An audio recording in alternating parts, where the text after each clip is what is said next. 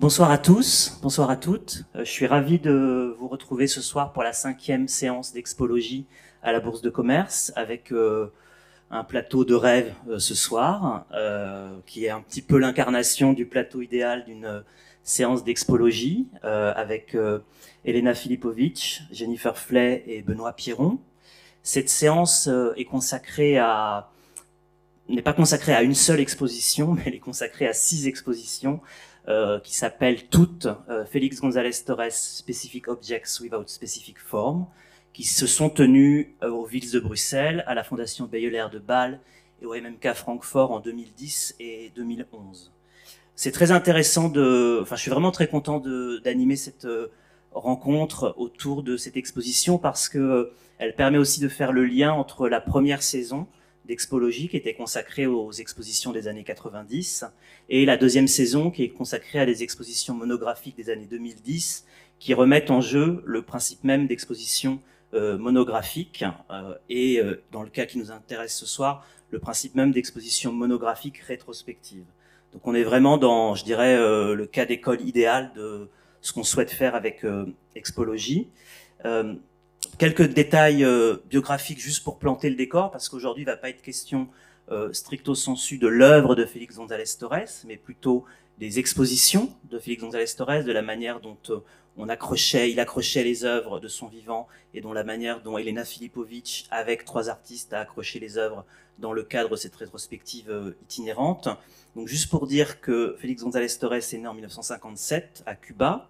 Il est donc décédé en 1996 à Miami, comme vous le savez tous maintenant euh, euh, de manière sûre. Euh, il, euh, sa première exposition euh, personnelle a lieu en 1984 et ses années de pratique se déroulent vraiment entre 1986 et 1996. En tout cas, ce sont les, les, les, les, dates des œuvres qui sont dans l'exposition dont nous allons parler euh, ce soir. Il réalise sa première exposition avec Andrea Rosen en 1990, qui sa galeriste euh, à New York euh, entre 90 et, son décès, et qui aujourd'hui s'occupe de la fondation Félix González Torres. Et 90, c'est aussi l'année où Félix et Jennifer Flay se, se rencontrent.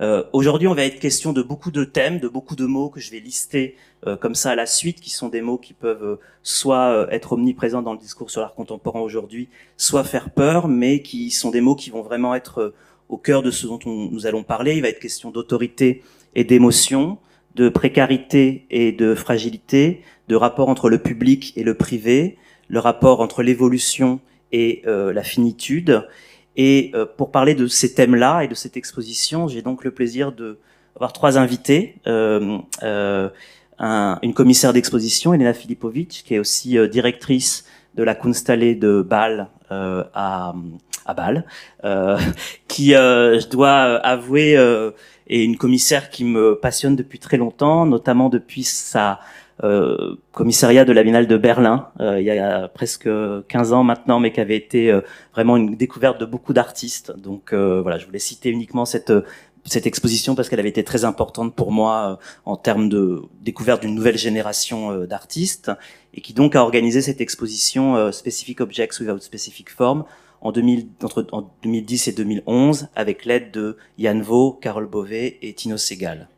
Au milieu, nous avons Jennifer Flay, euh, qui vit et travaille à Paris. C'est comme ça qu'elle a souhaité que je la présente ce soir, euh, mais dont je pourrais dire aussi qu'elle a eu une galerie très importante entre 1990 et 2003. Euh, 1990, l'année où elle rencontre euh, González Torres, qu'elle exposera pour la première fois en 1992. Et tout au bout, Benoît Pierron, euh, un artiste qui est né en 1983, euh, qui n'a, euh, comme Elena, pas rencontré Félix González Torres. Et c'est important pour nous toujours d'avoir un artiste d'une génération plus jeune, qui n'est pas, on dirait, inspiré par l'œuvre de Félix González Torres, mais qui peut nous apporter son, je dirais, son regard, son son expérience, sa vision, la manière dont il regarde aujourd'hui l'œuvre d'un artiste aussi important que, que González Torres. Et donc c'est à ce titre-là que dans chaque expologie, un artiste vient nous parler de voilà de, de, de la pertinence, de, de, des leçons que que González Torres peut apporter pour lui et pour une génération d'artistes.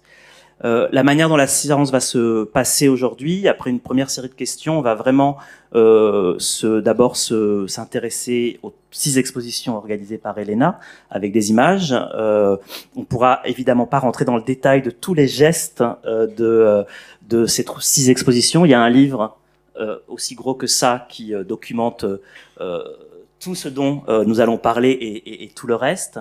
Et puis ensuite, on, on, parlera avec Jennifer de la manière dont Félix avait organisé les, expositions euh, dans la galerie entre 1992 et 1996, et puis la, conversation sera, ouverte. Mais la, la première question que je voulais vous poser pour commencer cette, euh, cette euh, expologie, c'était d'abord juste tout simplement de savoir comment vous aviez rencontré l'œuvre de Félix González Torres, et puis je commencerai par Jennifer, comment tu as rencontré Félix González Torres?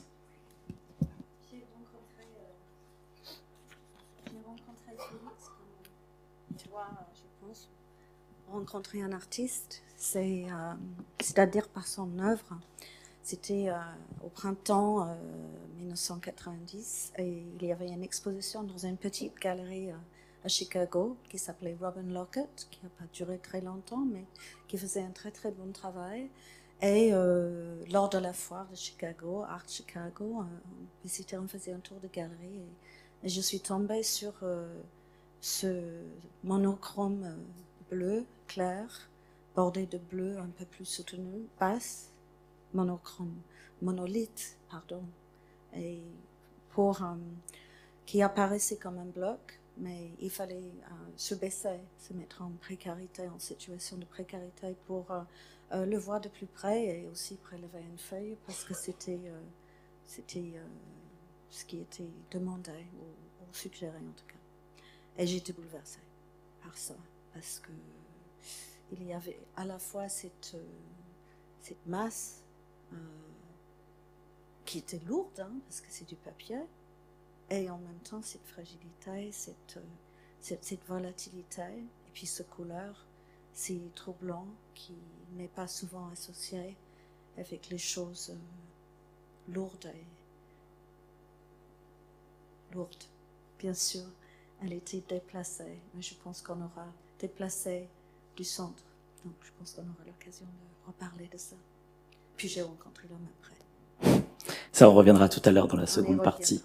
Elena, même question. Comment est-ce que euh, tu as rencontré donc l'œuvre de Félix González Torres, puisque tu, tu écris bien dans la préface à ce catalogue que tu ne l'as jamais rencontré euh, en vrai et que jusqu'au moment où tu as vraiment organisé cette série de rétrospectives, tu as une vision, euh, je dirais, euh, commune, en tout cas, de son travail, ou, pas superficielle, mais en tout cas euh, générale de son travail.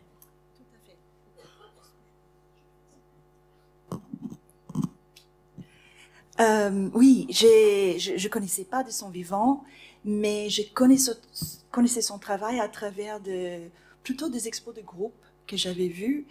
J'étais très émue. Euh, ça me fait très plaisir d'entendre Jennifer décrire ce premier moment de découverte de son travail parce que il y avait peu d'œuvres pour lesquelles des objets aussi prosaïques que de boules, de, des ampoules, de bouts de papier, un tas de bonbons pouvaient être si chargés donc c'est ça qui m'a marqué, qui m'a qui m'a touché dans son travail, mais je ne les connaissais pas plus que ça. Donc quand j'ai arrivé au Wheels, Centre d'art contemporain à Bruxelles, euh, en 2009, et j'étais donné comme première tâche d'organiser euh, le rétrospectif de Félix.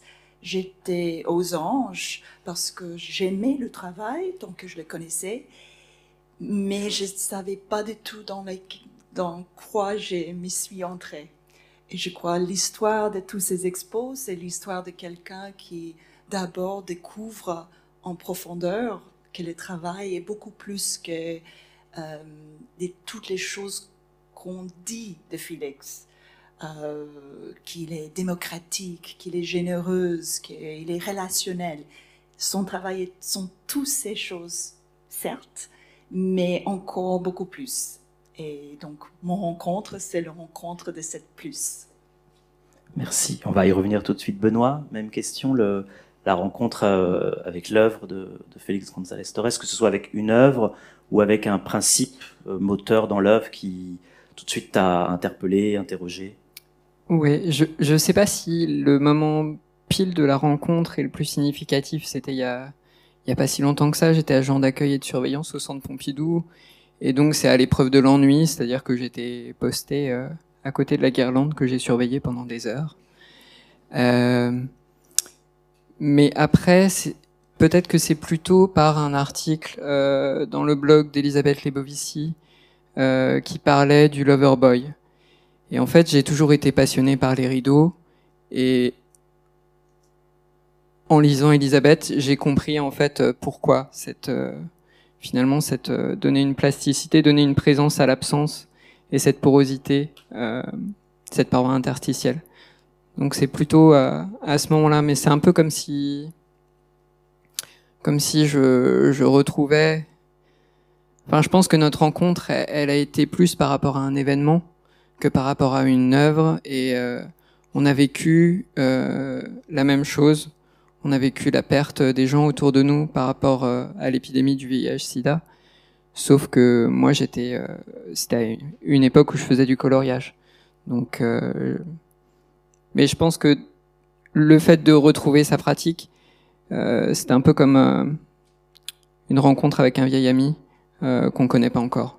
C'est pour ça que je sais pas à quand le dater. Est-ce que c'est quand j'avais trois ans et que j'étais à l'hôpital ou est-ce que c'était juste quand j'étais euh, posté devant devant les voilà. Merci. On reviendra aussi sur ce rapport biographique. Euh, Elena, pour, pour commencer, euh, dans les images que tu m'as envoyées, tu voulais d'abord qu'on voit ce type d'images-là, qui sont des images assez génériques qu'on peut trouver sur Internet de Félix González Torres, qui peut me permettre d'abord de, de, te poser cette première question sur la, les origines, la genèse de cette rétrospective en six épisodes, en six parties, euh, Specific Objects Without Specific Form. Euh, oui, donc euh, les images représentent celles qu'on peut comme, comme vous a dit, trouvé partout dans l'Internet, qui, qui montre l'impression que la plupart des gens ont de Félix. Euh, Félix qui est drôle, Félix qui offre des bonbons gratuits. Euh, et là, on voit les gens qui, qui les prennent. Mais l'expo qui m'était en quelque sorte offert, offerte, c'est Dirk Snauart, le directeur de Wheels, qui voulait un expo, un rétrospectif de Félix comme un manifeste de la nouvelle institution qui était Wheels à ce moment-là. Et, et, quand j'avais dit oui à être la, la, commissaire de cette exposition, tout ce que je savais sur Félix était à peu près cette version-là de Félix. Et, là, il y a d'autres, des, euh, des émouvantes images en espace public ou des ampoules euh, qui prenaient la chaleur euh, d'une corps humaine euh, je dirais pas que celles-là sont des clichés de Félix, parce qu'ils sont tout aussi, aussi vrais que d'autres. Mais quand je suis plongée dans le travail de Félix, il y avait deux choses qui m'ont percuté. L'une, c'était la ligne que je, lisais partout, Félix González Torres, l'artiste la plus influente de sa génération. Et je lisais ça partout. Et puis je me posais les questions, ok, si Félix était si influente, sur qui et comment il était, qu'est-ce qui était l'influence en fait? Parce que c'est certes qu'il n'y avait pas toute une génération d'artistes qui faisaient des bonbons de, de gratuites ou de piles de papier. Euh, je voulais comprendre ça. Et j'ai voulu aussi plonger, comme tout historien d'art, dans le travail lui-même. Donc, j'ai commencé à lire tout entretien, tout essai, tout texte, toute euh, conférence euh, que je pouvais trouver sur lui. Et une fois que j'ai tout lu, j'ai compris quelque chose. Si on, écoute des conférences de Félix, souvent il va commencer à parler des le dictionnaire.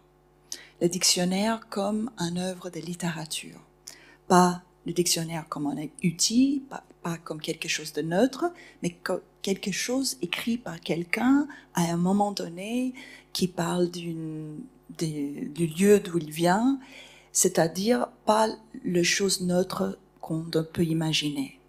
Quand il enseignait à ses élèves, il donnait en guise de devoir, euh, il demandait à ses élèves de prendre un article du New York Times, le, source soi-disant incontournable de vérité, euh, on n'y pense plus maintenant, hein, dans une époque de fake news et post-truth, mais à ce moment-là, c'était quelque chose dans les années 90 de demander à les élèves de revenir avec un article du New York Times et de montrer où était le, la manipulation, où, où étaient les choses qui n'étaient pas vraies. Je peux lister plein d'autres anecdotes qui parlent de Félix comme quelqu'un qui qui était au sein de, qui, qui mettait au sein de son travail le questionnement de l'autorité dans ce qu'il pensait, dans ce qu'il écrivait, dans ce qu'il enseignait. Et j'ai compris aussi quelque chose par rapport à ses œuvres, qui en fait, ce qui était clé dans l'œuvre n'était pas tellement leur forme, mais était leur mise en question de forme. Le fait qu'il qu'on pense traditionnellement à l'artiste comme quelqu'un qui est l'autorité de l'œuvre, qui donne une forme et cette forme est stable.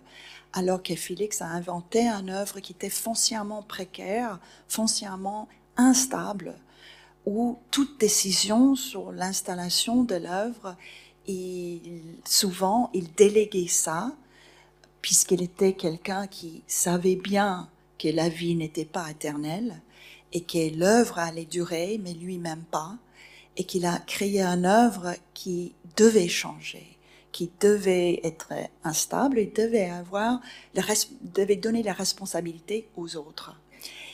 Et donc, non seulement la forme était instable, l'artiste, autant qu'autorité, était mise en question, parce que ce n'est pas l'artiste qui décide la forme vitale, qui donc Le public qui touche et qui défait la forme.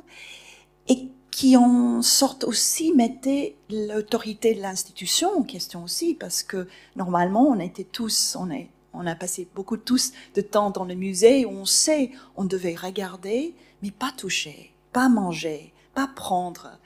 Donc en quelque sorte, il mettait même les, fondations de la règle, le contrat qu'on a avec chaque institution en tant que visiteur en question.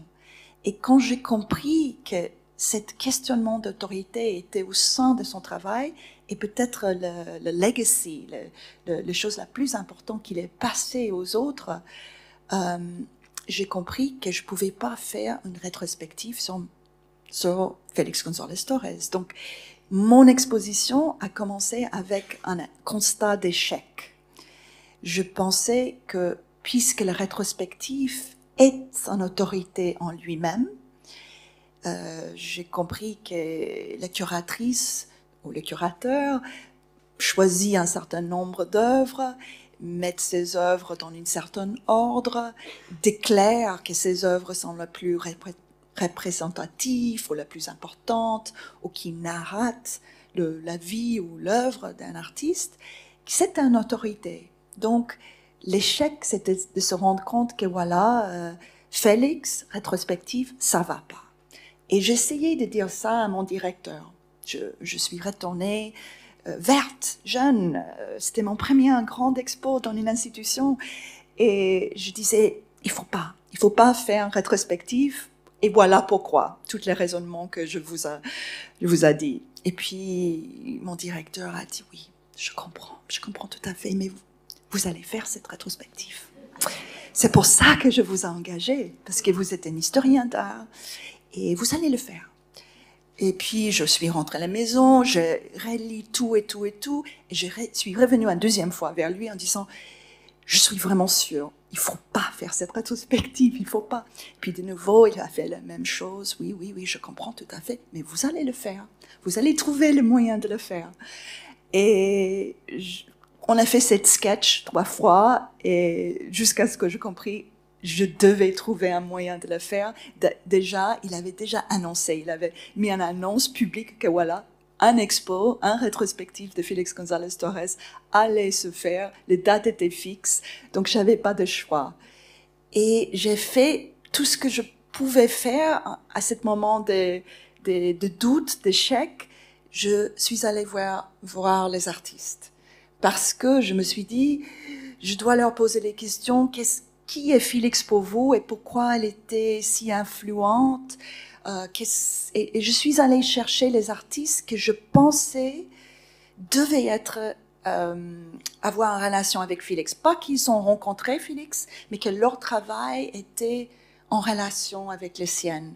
Et les choses intéressantes, c'est les premiers quelques artistes auxquels je suis allée parler, ils, m'ont dit, euh, voilà, non, Félix, euh, chouette gars, ça m'intéresse beaucoup, mais c'était pas ça qui était important pour mon travail, c'était autre chose. Donc l'influence n'était pas toujours là où on peut imaginer qu'il soit. Mais euh, je tombais sur Jan Vo. Et je tombais sur lui parce que une grande et incroyable livre sur lui, euh, sur Félix par Julie Holt, euh, était dédié à Jan Vo. Et ça m'a perturbé. Pourquoi est-ce que le meilleur ami de Félix a écrit cet fabuleux livre et dédié ça à une jeune artiste danoise, vietnamienne euh, Quel est le lien Donc je suis allée lui parler. Et, et puis j'ai compris que son idée de Félix était tout à fait différente de la mienne et fascinante. Et puis je suis allée voir des autres artistes, euh, Carole Beauvais, euh, Tino Segal, et dès cette conversation, j'ai eu l'idée que voilà, peut-être le seul moyen de faire un rétrospectif de Félix, c'est de faire un rétrospectif sans autorité, sans une version complète, sans une version euh, définitive. Et donc, j'ai eu l'idée de faire un rétrospectif dans trois lieux différents, donc Wheels, euh, Fondation BLR et MMK à Francfort. Et le principe, c'était, et là on voit la version au Wheels, vous pouvez faire un passage de l'image, euh, où moi, j'ai installé mon version d'un rétrospectif de Félix, avec mon interprétation de quelles sont les œuvres importantes ou intéressantes à voir, dans quelles relations. Et puis, j'ai eu l'idée qu'au mi-cours de l'exposition, tout devait être démonté et une artiste, notamment Yann Vaux, pour la première version, devait refaire l'exposition, mais à sa manière, avec son choix d'œuvre. Donc son choix n'était pas nécessairement mon choix d'œuvre. Donc on avait deux checklists complètement différentes, deux installations complètement différentes. Je me, permets de t'interrompre pour poser deux. On va arriver aux images de Yann Vaux. Deux petites questions. La première, c'est sur le choix du titre, qui est aussi une manière de convoquer un artiste.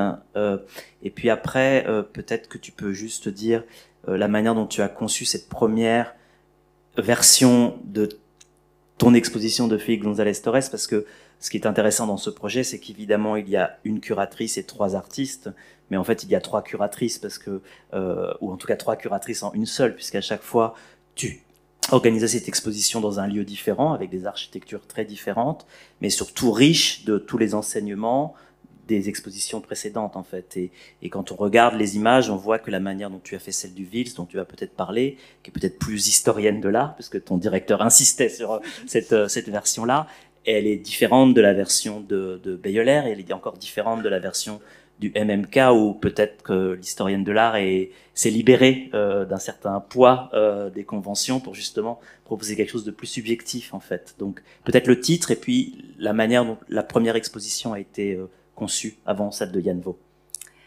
Euh, les titres. Le titre vient d'une autre artiste. Il faut dire que j'avais pas de titre jusqu'au pratiquement le, jour où c'était le deadline d'avoir un titre. Parce que je trouvais pas je trouvais pas quelle quelle série de mots qui qui, qui est un titre peut, peuvent être appropriés à ce projet. Jusqu'au moment où j'étais euh, vers minuit sur YouTube c'est ça que les curatrices font euh, quand on cherche des titres. Et j'ai regardé tout et n'importe quoi et j'ai tombé tout à fait par hasard dans une conférence euh, à New York sur tout à fait autre chose, euh, où Lawrence Weiner euh, a pris la parole et puis il répondait à une question Et il disait, lors de son discours, voilà, il faut qu'on soit tous un peu comme Félix González Torres et qu'on respecte les specific objects without specific form. Et c'était comme un, un ampoule dans ma tête où je me suis rendu compte, voilà, c'est ça que qui parle de ce qui est fondamental de notre travail de Félix González Torres, mais aussi fondamental dans cette conception d'un projet. Objet spécifique, mais sans forme spécifique. Et là, on est en train de voir petit à petit mon version de l'exposition euh, aux Wheels.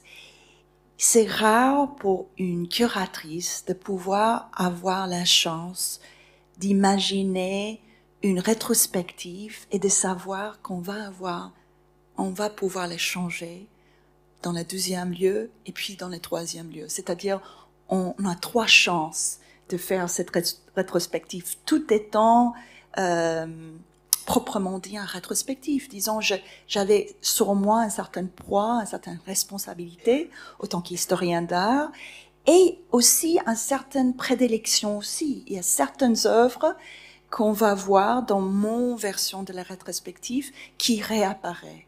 Où je pensais que si on voit seulement une version de cette rétrospective, je voulais qu'on trouve euh, un tas de bonbons euh, ou une série de tas de bonbons que je considérais comme clés ou, un portrait. On le voit un peu mal, mais là, un portrait de Félix González Torres qui, qui fait le tour des frises d'une salle. Euh, ça, s'est trouvé dans toutes mes versions. Mais c'est intéressant dans les conversations avec les artistes où j'ai compris que, par exemple, Yann Vaux, au départ, il voulait aucun, aucune tas de bonbons dans son version d'une rétrospective. Pour lui, c'était la faute de la, une certaine interprétation de Félix qu'on misait trop sur l'état de bonbons et que pour lui, Félix était beaucoup plus grave que ça. Euh, au fur et à mesure de nos conversations, il a accepté finalement d'avoir un tas de bonbons, une seule, dans son version de rétrospective, mais vous allez voir comment il a installé. Mais d'abord, quelques mots sur cette image. Ces-là sont les cartels de l'exposition, de la version de Yann Vaux.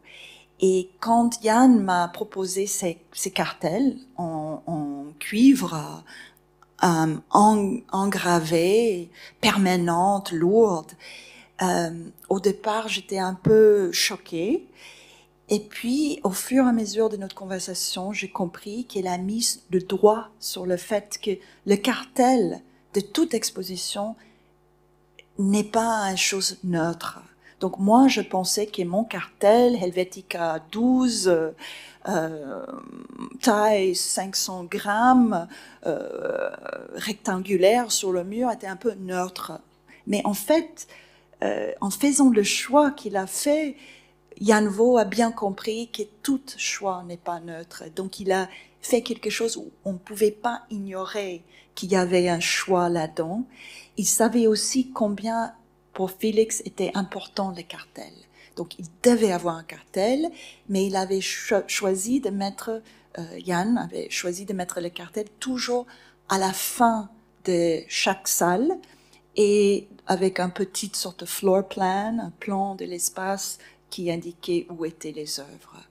Là, dans les images qui suivent, on va voir son version de l'exposition avec certains détails dans ses choix, par exemple, pas de lumière euh, artificielle, à part celle qui venait des les œuvres de Félix, une, une sparseness, une, une, une manque d'œuvres. J'avais un peu Il avait 50 heures dans ta version et 18 dans la version de Yann Vaugh. Donc oui. on voit aussi cette différence entre... Ça dit long mhm, mhm. sur, sur le fait que même mon exposition, j'avais pas trouvé très pleine, mais les siennes étaient vraiment minimales.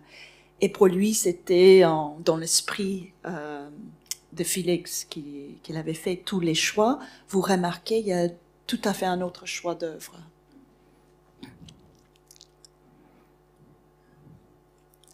Et alors, il y a des anecdotes qui disent que, effectivement, c'est dans le, le catalogue qu'une spectatrice vient le lendemain d'un article qui est publié sur ta version de l'exposition Mhm. et qui ne trouve pas les œuvres soi-disant dans l'exposition parce que c'est celle de Yann Vaux et qui demande à être remboursée parce qu'elle voulait voir absolument euh, les œuvres qui étaient traitées dans l'article. Mais au-delà de ça, je pense que ce, cette première euh, euh, différence entre ta version la plus historienne de l'art possible, peut-être qu'il y avait cette idée dans, dans ta tête et sa version à, à lui avec 18 œuvres, était aussi plus fondamentalement différente parce qu'il y avait, comme on le voit ici, voilà, des gestes comme celui-ci qui euh, permettaient de, de voir si on voyait les deux expositions ou si on voit les deux images ici, euh, le, le- la, la part que Félix González Torres laissait dans l'accrochage de ses propres œuvres après son décès, et aussi la manière dont les œuvres euh, dans l'exposition de Yann Vaughan n'étaient pas uniquement cantonnées au, centre d'art, mais pouvaient être aussi en dehors du centre d'art. Ce qui est très beau dans l'image qu'on a vue au début, c'est euh, le Vils éclairé par à la lumière des guirlandes lumineuses, je pense l'hiver. Si vous vous souvenez de cette première image, on voit vraiment le Vils qui est comme un phare à l'intérieur du, paysage euh, industriel de cette zone de, de Bruxelles. Peut-être tu peux nous dire quelque chose. C'est vraiment voilà un cas d'école, ces deux accrochages de l'œuvre For Stockholm, Untitled For Stockholm, qui est aussi présent euh, euh, au rez-de-chaussée euh, de la Bourse de commerce dans l'exposition Renion, Félix González Torres. Mais encore une fois, montré autrement. Oui, pour moi, le grand choc, autant que curatrice, historien d'art, c'était au début de ce projet de comprendre que malgré le fait qu'il y a un catalogue raisonné sur Félix, cette catalogue raisonné toujours accompagné d'une image, une image clé sans doute de chacun des œuvres qui sont représentées dans le catalogue raisonné. Donc j'avais vu euh, Untitled for Stockholm, à peu près comme les versions que vous allez à gauche. Et, et pour moi, dans ma tête, c'était c'est comme ça que Félix a installé cette œuvre, donc par un certain respect, euh, il fallait réinstaller à peu près comme ça. Mais une chose que j'avais compris qui était important dans son travail, c'est que il voulait pas qu'on réinstalle les œuvres simplement comme il avait installé, mais qu'il voulait à chaque fois on repense l'installation et que les œuvres prennent une toute autre forme. Donc, je savais à travers ces six versions, j'allais pouvoir, à travers mes versions différentes et celles de les artistes, voir des décl- déclinations très différentes euh, des, de- des versions. Petite anecdote sur la version de Jan Vaux. Il voulait surtout que ça soit au sol, qu'on sent la chaleur. Il disait qu'on mettait ça en eau, on, sentait pas la chaleur corporelle qui pour lui était clé dans cette œuvre. Mais autre chose, euh, vous voyez dans ma version, on voit pas la, la file à la fin. Pour moi, l'œuvre de Félix, tant que j'avais compris à ce moment-là, c'était les ampoules. C'était la partie visible, et drôle et spectaculaire de l'œuvre. Et c'est Jan Vaux qui m'a montré dans le, dans le checklist de Félix qu'il toujours, il mesurait combien d'ampoules il y avait, mais aussi la longueur de la file. Et donc il m'a dit, donc, Elena, la file est aussi l'œuvre. Donc il faut aussi montrer ça. Donc il voulait dans sa version qu'on soit aussi impressionné par le fil que par le- les ampoules par terre. Et il a choisi d'accrocher l'œuvre là où il y avait un prise électrique. C'est-à-dire, il n'a pas pris une décision plus que de laisser que la un- infrastructure de la bâtiment décide où sera ses œuvres. J'avance un petit peu vers la, deuxième version pour vous montrer ici le grand escalier du Vils où tu avais accroché Untitled America euh, à l'intérieur du grand silo et que Yann Vaux avait, euh, avait euh, vidé complètement et il avait mis ce que tu, tu parlais tout à l'heure, le seul tas de bonbons Untitled Placebo qui était tout en bas de l'escalier, donc qui nécessitait un effort physique, en tout cas vraiment une vraie volonté d'aller chercher le bonbon et pas uniquement de le prendre au passage de, de, de, de, de l'exposition. Et une expérience de vertige. Exactement. Il faut dire que c'était en voie pour aller vers le parkings. Donc, c'était pas proprement dit dans l'exposition de tout, mais c'est une bonne setup pour cette œuvre. Euh, si vous avez les souvenirs de la dernière image, c'est comme ça que j'avais installé l'œuvre Untitled America. Et Yann avait compris que pour lui, la chose la plus importante pour Félix, c'était cette idée d'une œuvre faite pour une personne, qu'une œuvre peut être euh, l'audience des one.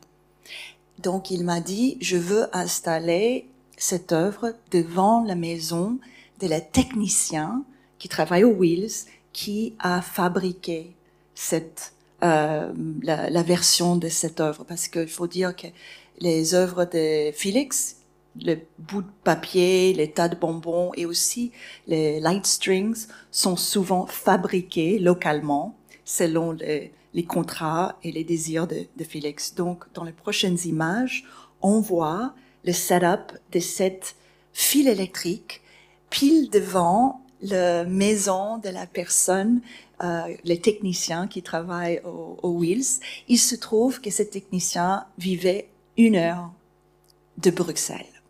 Donc, on était en train d'avoir une rétrospective où une œuvre clé était dans une petite chemin à côté d'une forêt, de pile devant la maison d'une personne privée. Et il y avait plein de discussions là-dessus euh, où le board disait est-ce qu'on peut vraiment faire ça? Mais la voie est publique, donc était proprement dit publique, mais il fallait prendre un bus si on voulait aller voir cette œuvre. Et ça résonne avec cette phrase que González Torres disait quand les gens me demandent qui est mon public, je dis honnêtement, sans hésitation, Ross, le public, c'était Ross. Et Ross, c'était son ami, son amant, pardon, son compagnon jusqu'en 1991. Je propose qu'on passe à la deuxième exposition, euh, peut-être en expliquant le, parti pris cette fois-ci de voilà d'accrocher les œuvres à l'intérieur de la, la Fondation Bayolaire. Et puis euh, aussi, ça permet de parler de ton idée, cette idée d'avoir six expositions différentes. Elle vient d'une exposition importante de Félix González Torres en 1991 à la galerie Andrea Rosen. Tout à fait. En, parmi toutes les choses que j'avais lues sur Félix, qui m'a, qui était fondateur dans mon dans mon réflexion sur la conception de cette expo, c'était son expo de 1991, Every Week There's Something Different. Un expo où il avait changé toute la semaine la constellation des œuvres dans son expo et, et qui était annoncé seulement dans une press release euh, sans explication et, et, qui pour moi m'a donné un peu la liberté d'imaginer cette exposition et ça faisait partie beaucoup de nos conversations avec les artistes. Là, on est en train de voir mon version de l'expo Fondation BLR où j'avais pris un autre idée clé de Félix comme inspiration aussi, l'idée d'être viral, d'être euh, d'insérer infiltrer une institution, là en l'occurrence les collections permanentes de la fondation, une collection qui est euh, qui est reconnue mondialement et pour lesquelles à ce moment-là il n'avait jamais laissé que quelque chose infiltre euh, cette collection.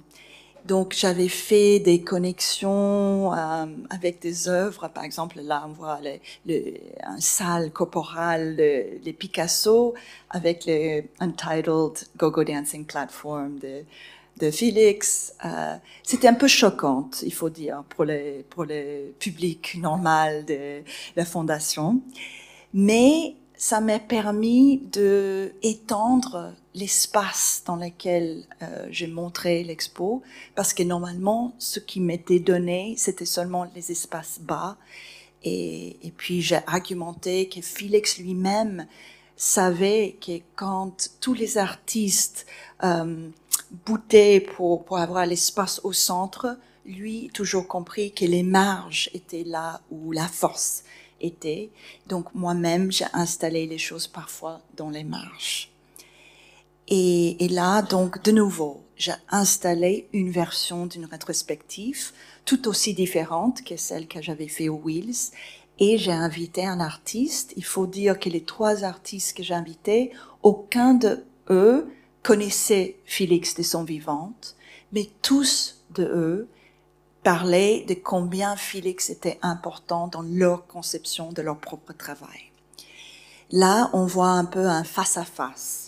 Mon version de ce que j'avais fait avec un œuvre, Untitled Portrait of Dad, euh, et celle de Carol. Il faut dire que Carol avait fait une partie pris très intéressante, très différente de celle de Yann Vaux et encore différente de celle de Tino qu'on va voir. Elle a décidé que pour toutes les œuvres dans la partie euh, ground floor, la partie premier étage du, du rez-de-chaussée euh, de Fondation BLR, elle n'allait pas changer le checklist. Elle avait montré exactement les œuvres que moi j'avais montrées, mais elle allait le montrer subtilement différemment. Et que cette différence allait montrer au public combien il y a d'instabilité dans la forme finale, combien il y a quelque chose de ne pas fixe dans l'œuvre de Félix. Mais elle avait pris une autre décision super importante, c'est-à-dire elle a décidé qu'elle-même elle allait vivre, elle allait déplacer avec toute sa famille pendant le, un mois de l'exposition et c'est elle qui allait être le caretaker. Elle allait soigner de l'exposition. Donc tous les jours, elle, elle allait couper les petites euh, beads, les petites perles en plastique, euh, parce qu'il faut dire que quand on, les rideaux de Félix, il, il s'éteint un peu et Félix voulait toujours que ça touche pas le sol, que ça juste frôle le sol. Donc il faut que quelqu'un le coupe, il faut que quelqu'un euh, ramasse le tas de papier pour que ça soit toujours droite après que le public a touché et bougé. Et c'est Carol qui faisait ça tous les jours. Et dans le, catalogue, il y a son journal de bord, en fait, où elle raconte comment elle a euh, euh, pris en charge, euh, pris soin de l'exposition pendant un mois. Et elle explique notamment par rapport à ce tas de Untitled de 1990, la manière dont elle voulait toujours que ce soit parfait et qu'en même temps, au bout d'un moment, elle a compris qu'elle n'arriverait jamais à ce que ce tas soit toujours parfait, toujours complètement euh, carré, parce que il était justement euh, euh, utilisé, les feuilles étaient prises par des personnes dans le dans le public. Donc tout son journal de bord raconte cette expérience. Dans l'image qui est ici, c'est exactement la même image que celle que j'ai montrée tout à l'heure pour ta, ta, version de l'exposition. Et là, par exemple, c'est encore un, un, petit geste où elle dispose l'œuvre au même endroit, mais un peu plus à l'aise d'une certaine manière. Euh, J'avance pour ces images-là, en fait, qui est la salle qu'on a vue tout à l'heure avec le grand tas de, bonbons au sol, ou qui, qui, est en lien avec aussi euh, cette exposition dont tu parlais. Tout à fait. Euh, une autre décision que Carol a fait, c'est-à-dire de recréer cette exposition Every Week There's Something Different recréer ça dans une dans un espace de la Fondation BLR où elle avait recréé l'architecture presque identique et qu'elle a installé toutes les semaines, pendant quatre semaines, les œuvres telles qu'il était installé par Félix, telles qu'il changeait toutes les semaines par Félix, et que ça allait être elle qui les changeait. Et les, les images que vous avez montrées tout à l'heure, avant, montre l'espace des, euh, de travail. C'est-à-dire, elle voulait pas que ce soit caché du public, que quand on est dans un musée quand on bouge toutes les semaines des œuvres, ils doivent euh, bouger quelque part. Donc, elle, elle, rendait visible tout cette, euh, ce travail, mais en en soulignant une question qui est fondamentale par rapport à l'œuvre de Félix, c'est-à-dire quand on décroche un Picasso et on le met dans le, dans le storage, on n'a aucun doute que c'est un Picasso. Ça reste un Picasso, un, grand œuvre. Mais une fois qu'on décroche un tas de bonbons et on le met dans un carton, est-ce que c'est encore un Félix González Torres et ou un, un pile de papier? Et c'est cette question-là qu'elle voulait rendre ça visible. Et c'est ça qu'elle a fait à travers son version.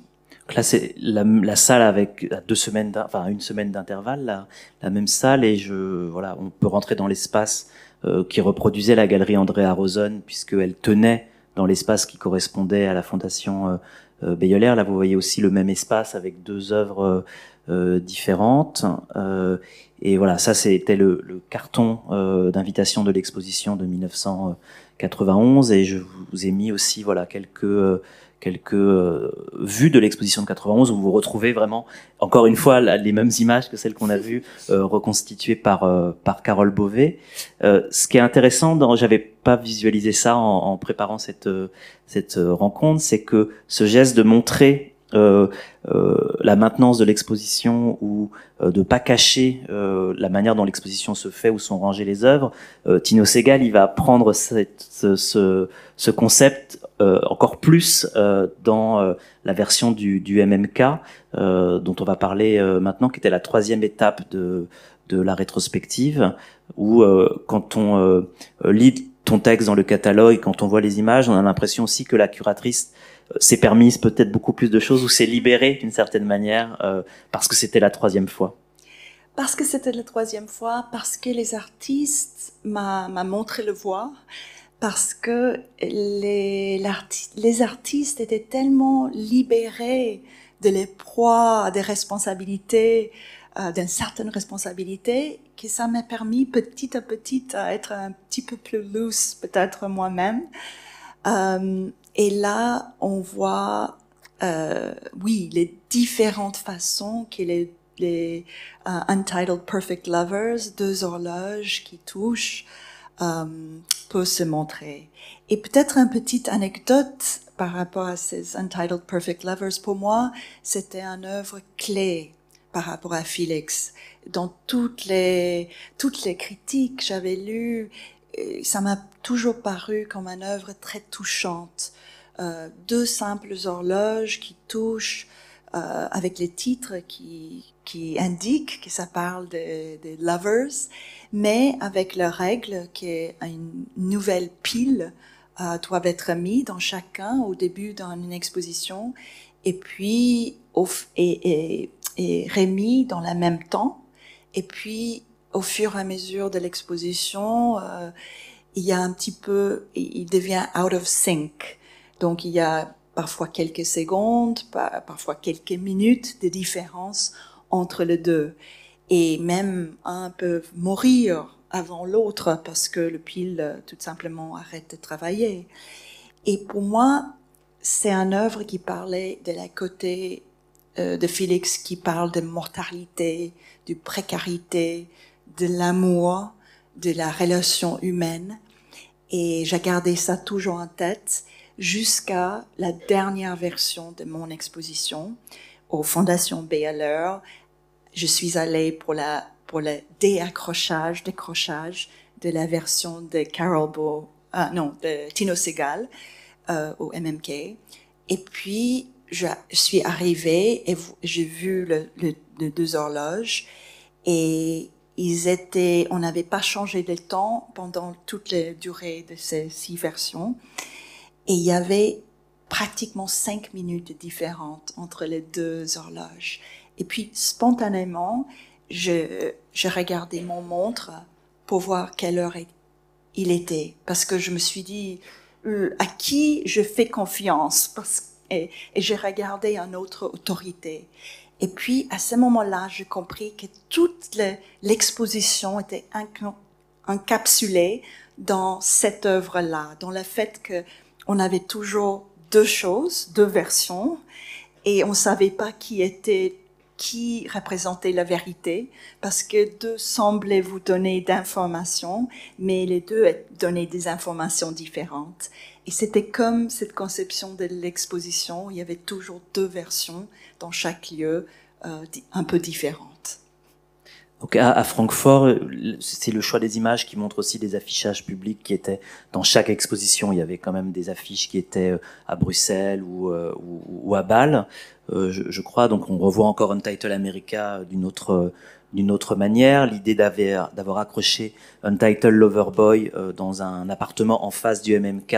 Donc l'œuvre était visible de, depuis l'exposition si elle n'était pas visible dans l'exposition, mais il y avait quand même, à la différence de, du Vils où l'œuvre était vraiment à une heure de route, ici il y avait un rapport euh, de proximité avec euh, avec l'œuvre. Et euh, je, je, montre quelques images avant d'en venir à la, à la version de, de, Tino Segal, en fait, notamment avec ces images-là, parce que Tino Segal peut être aussi d'un côté un petit peu joueur. En fait, il a rajouté six versions à, aux six versions de, de l'exposition. Tout à fait. Euh, il faut dire que tout ce projet est, était possible grâce à les longues conversations que j'ai eues avec chaque artiste pour que je comprenne et que eux ils comprennent pourquoi Félix était fondamental pour eux et qu'est-ce qu'il c'était intéressant. Et, pour Tino c'était le côté euh, presque performatif de son œuvre. Le, le fait qu'il n'y avait pas une décision fixe euh, mais quelque chose toujours muable il m'a raconté que la première fois qu'il a rencontré l'œuvre de Félix, c'était la première exposition dans laquelle il lui-même performait. Et d'abord, il, il rejetait un peu l'œuvre de Félix en disant, waouh, c'est post-minimal, euh, pas très intéressante. Et puis, il voyait le public, le public qui se mettait devant l'œuvre, qui se posait la question est-ce qu'on peut prendre ou on peut pas prendre, que surreptitieusement prenait un, un bout de papier et ça lui a donné, en fait, il a dit c'était formatif son, propre travail et sur la question de comment engager un public, comment faire en sorte qu'un public s'engage avec l'œuvre. Donc il a décidé de non pas faire version, mais six versions à l'intérieur de son version de l'expo. C'est-à-dire, il a curaté sur papier, dans sa tête, comment les 20, je crois c'est 22 salles du MMK doivent apparaître. Et puis, il a engagé un groupe d'étudiantes de Stadel pour un tout petit groupe. C'était trois ou quatre personnes qu'il a entraîné et qu'il a montré comment il voulait qu'il déplace version 1 jusqu'à version 2, jusqu'à version 3, jusqu'à version 4, mais live. Que à chaque moment qu'on visitait l'exposition, cette exposition était en train d'être installée et déinstallée et une nouvelle version installée et déinstallée. Là, on a une vision de la même salle, la même expo de Tino, mais à un intervalle de peut-être une heure de différence. Qui, et là, on voit, c'était la meilleure façon de montrer l'incroyable fluidité inscrite à l'intérieur de l'œuvre de Félix, parce que était un expo en constant mouvement. J'ai encore quelques quelques images. Peut-être euh, Benoît ou Jennifer, vous voulez réagir à toutes ces images qu'on a vues avant qu'on revienne dans les années 90 euh, Peut-être que moi, ce que je voudrais dire euh, par rapport à cette impermanence, en fait, qu'on voit au niveau des accrochages, c'est qu'en vous écoutant, j'étais en train de réfléchir que quand j'ai préparé ce, ce, moment, finalement, ce qui a ce qui a été le plus riche pour moi, c'est euh, j'étais un petit peu éloigné de ma machine à coudre et du coup je me suis réfugié dans l'abri anti-atomique euh, de anti-bombardement du palais de Tokyo où il y a une bibliothèque et où j'ai aussi pu discuter avec euh, pas mal de gens et finalement je me suis rendu compte que il y a ce truc de Félix González Torres d'être pensionnaire des, des lieux mais aussi finalement ça existe enfin moi ça a existé parce que ça m'a permis de, de discuter avec François Piron, Clément Raveux ou Elisabeth. Et du coup c'est dans la discussion. Donc ça me faisait beaucoup penser en fait la préparation de cette euh, conférence, c'est un petit peu en méta comme ça, mais ça me voilà, c'est une réaction par rapport au process même aussi avec cette idée que euh, Félix González n'avait pas d'atelier en fait. Il considérait toujours que son atelier c'était la galerie ou le ou l'espace ou le musée dans lequel il allait euh, il allait euh, il allait exposer. Jennifer, j'en viens. merci beaucoup Elena pour tout ce que tu nous as dit et il y aurait encore beaucoup de choses, beaucoup de détails, beaucoup de, mais on va, on va sans doute revenir sur quelques quelques exemples, mais de voir vraiment cette, je trouve ça très intéressant de voir comment tu as, euh, après avoir résisté, réussi à trouver une solution pour cette euh, rétrospective multiple. Et ça peut être aussi intéressant de t'entendre plus tard sur le rapport avec le public, en fait. Euh, voilà, comment ça a pu évoluer dans chacun des, des endroits. Jennifer, j'ai choisi quelques images de d'expositions que Félix avait euh, avait parti, à laquelle il avait, il avait participé dans ta galerie, soit des collectifs, soit des euh, personnels. Ça, c'est la première fois qu'il euh, expose chez toi dans le cadre d'une exposition euh, euh, collective. Est-ce que tu peux nous dire la manière dont ton expérience de, de comment il, il investissait l'espace d'exposition en fait? Il y a une petite erreur qui Nicolas Bourreau a écrit un texte euh, à ma demande sur l'exposition, mais le commissariat, c'est moi. Euh, C'était une exposition collective, donc comme tu dis, euh, avec Liz Lerner, Christian Marclay, Félix González Torres et Matthew McCaslin. Et nous sommes, bah voilà, en, en 92, il y avait encore fait, en fait très peu d'images de, de l'œuvre de Félix installées. Il avait, euh, et on a fait les photos en démontant l'exposition. Ça, c'est un title Kimo, dans l'espace euh, qui séparait la galerie euh, de mon bureau qui était peint en bleu, un portrait que Félix a réalisé de, moi. Et euh, dans les fenêtres sur rue, il y a Boy. Donc ça, en fait, c'est voilà. L'autre vue, ce sont les, les, fenêtres de la galerie qui donnaient sur la rue de Belém. Euh, c'est c'est une c'est une, une, extraction de l'exposition que nous avons fait pour euh, garder un, mémoire de euh, des œuvres de Félix pour lui aussi, parce qu'à l'époque il n'avait pas tant d'images que ça. Et, et, donc maintenant ces images euh, montent un peu parce que c'est il y avait trois autres artistes dans l'exposition, mais euh, tout, tout ça dans la plus grande complicité, euh, je dois dire, c'est Félix qui avait donné le titre. C'est Félix qui a donné ce titre. Je lui ai demandé euh, s'il avait une idée pour un titre, un titre. Et il a dit Not Quiet. Et bien sûr, euh, euh, j'ai compris euh, pourquoi ce titre résonnait en lui. Euh, il y avait tant de raisons, tellement de raisons pour qu'il puisse pas être tranquille. Euh, n'est-ce pas? Et, euh, et donc nous avons les, tous les autres artistes étaient d'accord, moi aussi. Donc on a appelé ça notre croate. Et c'est aussi lui qui a fait l'invitation, qui apparaissait sous la forme d'un petit stack en papier calque avec euh, le, nom de chaque artiste sur une feuille, mais à, à, à différents endroits pour que tout se lit en transparence. Et donc voilà, ça c'est la traduction euh, en image de l'expo d'une de, ces feuilles de l'exposition Not Quiet, c'est euh, Félix González Torres. Un, il y a un collègue, ah, ça c'est, ça c'est euh, un collectionneur. Je reviens un peu sur mon portrait très connu. Je pense que d'ailleurs euh, il ne m'en voudrait pas si je dis son nom, Robert Vuffion, euh, qui d'ailleurs a, a, eu plus tard son portrait fait par Félix et à qui Félix s'est adressé pour lui expliquer son processus dans les portraits, laissant un texte qui est fondamental, en fait, de Félix González par rapport au portrait. Robert Feffium, quand il est rentré dans ma galerie et qu'il a vu ça, il m'a dit, mais Jennifer, mais, mais je suis, euh, j'ai de la peine pour toi, c'est affreux, euh, tout, tout, ce, tout ce, déballage, euh, comment tu fais, euh, c'est épouvantable.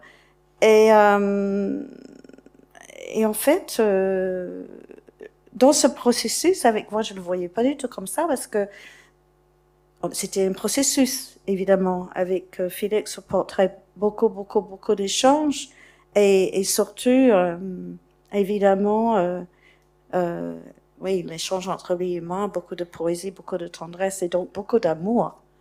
Euh, mais je, je conçois maintenant, et, et, Robert a été le premier à me le dire le soir du vernissage, que, que c'était euh, affreux de, de, de, de, se révéler euh, comme ça, autant. J'avais, j'avais acheté, en fait, cette exposition, a été, Félix n'était pas encore revenu, venu à Paris. Et parce qu'il avait peur de venir à Paris, il avait vécu des choses tellement intenses ici avec Ross qu'il était très réticent à revenir à Paris. Euh, il n'est pas encore revenu à Paris et pour euh, pour euh, faire cette exposition, euh, il n'y avait pas encore euh, comment s'appelle ce logiciel où on fait des maquettes d'exposition en, en ouais il n'y avait pas SketchUp et et lui et je lui envoyais des dessins, des photos de ma galerie, l'espace nu avec un texte, une reproduction d'un autre portrait de lui scotché sur les poutres avec un tissu bleu euh, au, sur les fenêtres. Je lui ai envoyé des échantillons par le, par le poste de tissu bleu parce qu'en fait, et puis pour le, pour le rideau, j'avais aussi fait un collage et il a adoré ces, ces, ces, ces dessins, enfin, que lui appelait des dessins. Il m'a même demandé s'il pouvait les montrer dans une exposition collective chez Laurine Augustine de dessins de sculpteurs il était très euh, hands-on dans ses dans ses choix. Il était euh, euh, pressé, absolument pressé par rapport aux matériaux, par, par rapport au placement. Euh, il est vrai que il a il, vivait euh, avec la certitude que sa vie ne sera pas longue. Et il vivait aussi avec la certitude qu'il n'aurait pas de deuxième chance pour, euh, pour faire une œuvre qu'on serait très sévère, très critique avec lui, euh, compte tenu du fait qu'il allait disparaître. D'ailleurs, euh, pour, pour Not Quiet, il y avait un livre d'artistes où je demandais à chaque artiste de, de regarder la planche numéro 2 du test euh, Rochatz. Donc, c'est une sorte de splotch comme ça. Euh, et tous les artistes ont répondu. C'est un très joli livre. Je dois en avoir quelque part euh, je ferai don à, la fondation. euh, et donc Félix, je lui ai montré ce splotch euh, dans la rue à New York et j'ai dit à quoi ça te fait penser? Parce que mon idée avec dans cette exposition, c'est que ces artistes, chacun investissaient des formes empruntées de l'art minimal, mais y euh, injectait euh, des choses extrêmement personnelles, extrêmement euh, euh, subjectif. Et il m'a répondu, je vais pas dire le nom parce que ils sont encore vivants. Euh, Monsieur et Madame X écrasés par un camion.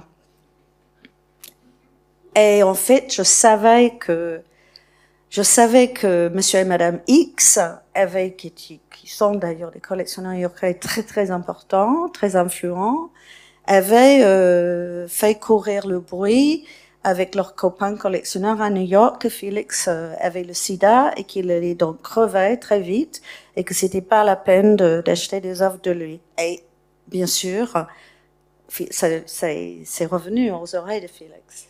Non seulement, non seulement il savait qu'il allait, il savait il était malade, euh, c'était bien avant la bithérapie et encore moins la, la trithérapie, mais l'extérieur lui faisait aussi l'écho du fait qu'il n'aura pas de deuxième chance. Et donc il disait euh, vraiment souvent, euh, par rapport à tous les choix qu'il faisait pour ses expositions, when in doubt, leave it out. Ça, c'était une sorte de mantra. Et less is more.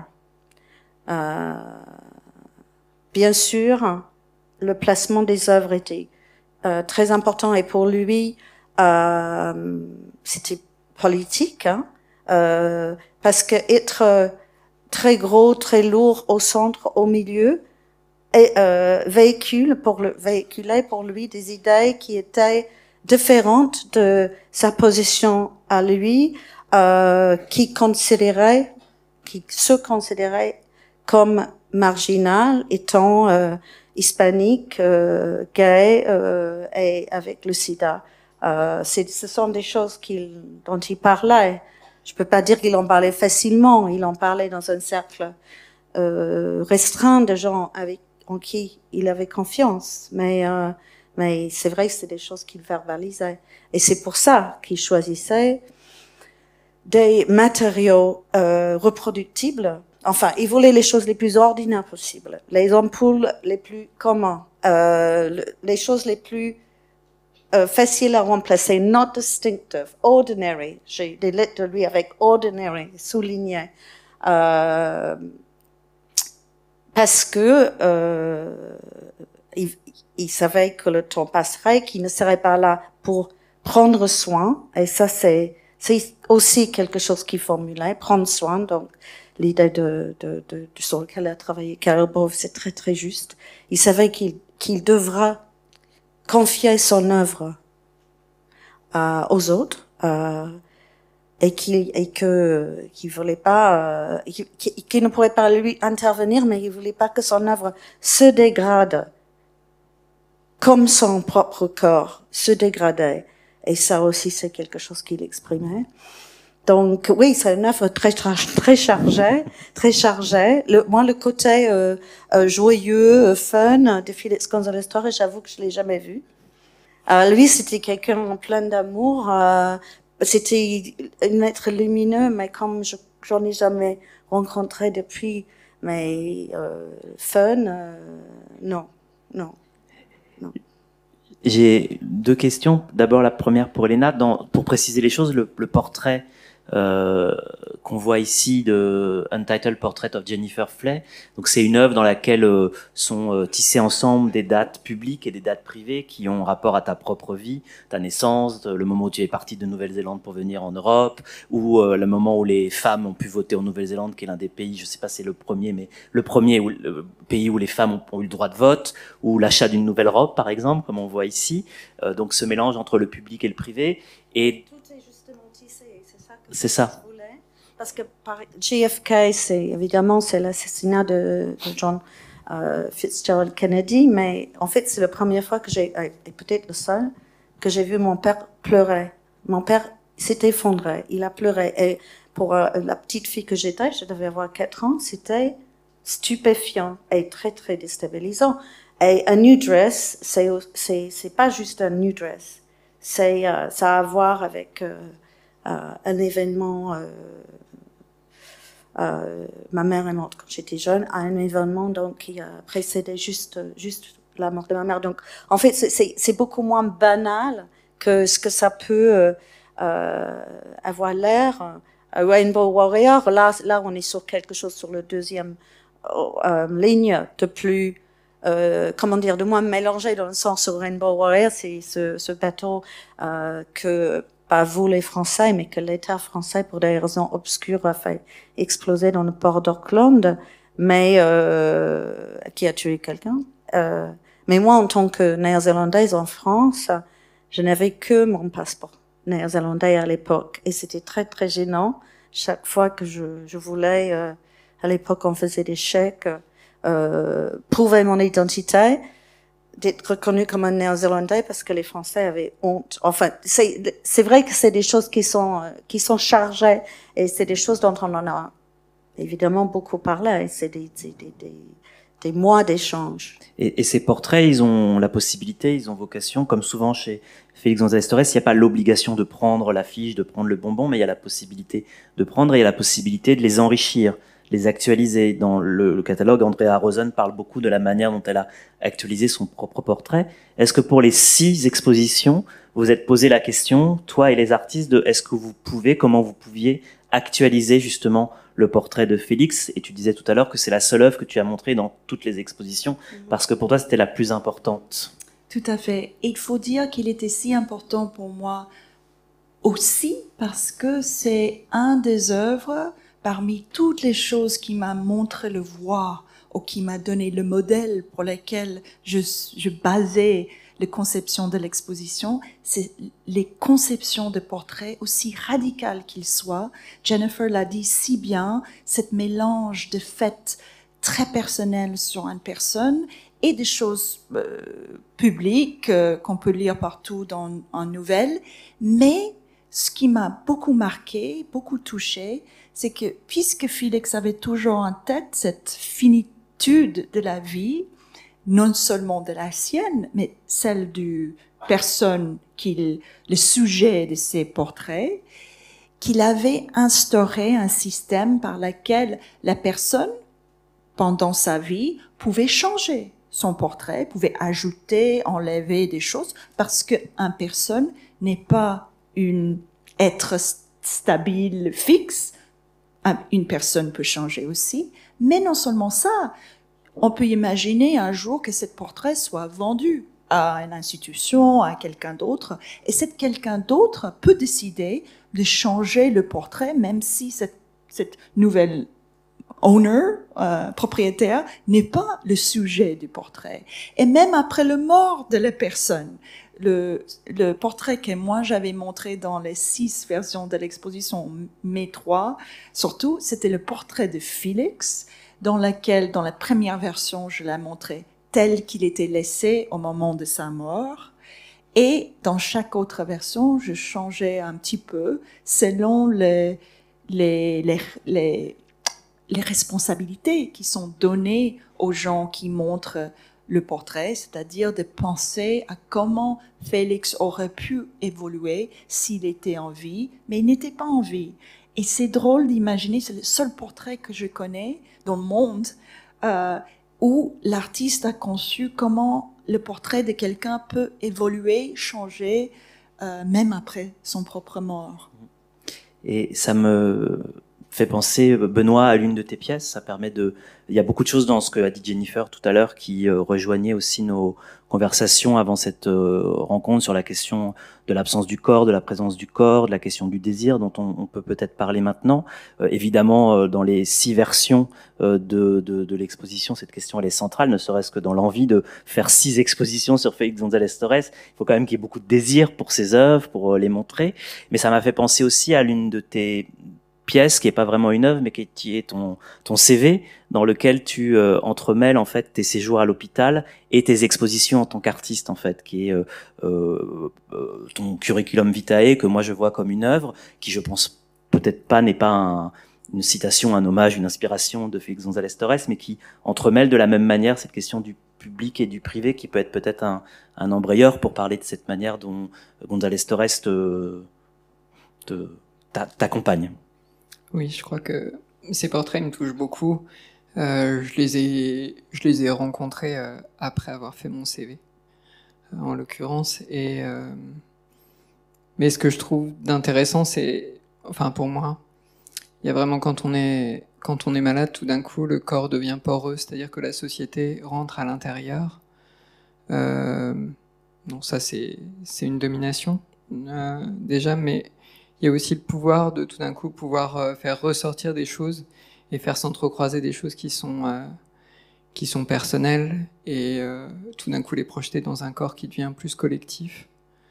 c'est une manière de de se réapproprier ce corps et c'est ce que je vois dans ces en fait dans cet entrecroisement où tout d'un coup exposer les choses dans le white cube c'est un petit peu comme exposer oui son intériorité quand de toute façon, l'intériorité, l'intime, enfin, ce jeu sur les frontières entre intime et, ce, qui est, public, euh, moi, ça me fait penser aussi à une autre pièce. Euh, j'ai jamais vu de, photo. Je sais pas s'il en a été faite, mais c'est quand, euh, je crois que c'était en 93 qu'il a posé des bouquets de fleurs bleues et roses sur les tables de, de chacun des salariés du, du même VP.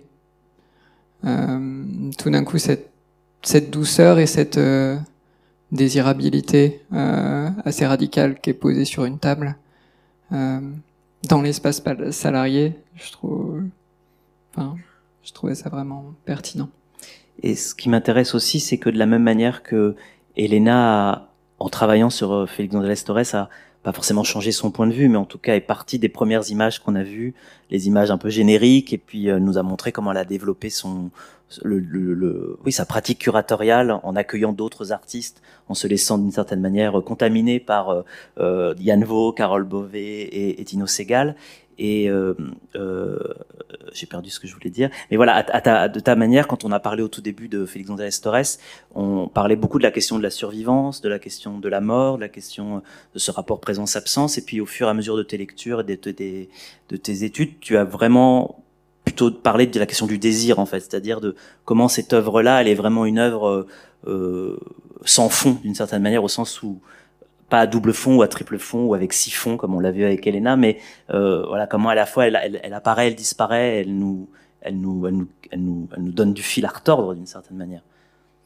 Oui, je pense que plus j'ai plus j'ai lu, alors moi je me suis limité au texte plutôt en, en, français, donc ça a été assez restreint, mais il y en a quand même pas mal. Et euh, j'ai commencé à découvrir presque avec une légère colère que qui parlait beaucoup du désir et euh, il emploie le terme de de désir radical et euh, je trouve ça assez je trouve ça assez juste. Enfin moi ça me parle énormément. Euh, le fait que la maladie puisse être euh, un contexte, un état, mais euh, de maintenir cette euh, désirabilité à travers cette expérience, qui est une expérience existentielle aussi, parce que rendre, je pense pas qu'il cherche à rendre la mort désirable, mais tout d'un coup poursuivre le désir à travers ses lumières, à travers euh, ouais, je crois que je crois que le désir est ce que ce que je perçois de plus fort en fait dans son travail.